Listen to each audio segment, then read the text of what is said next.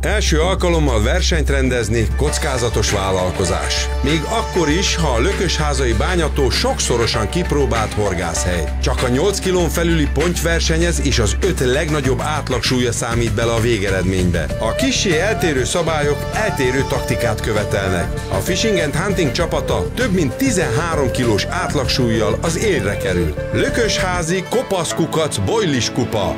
Vasárnap a Fishing and Hunting műsorán.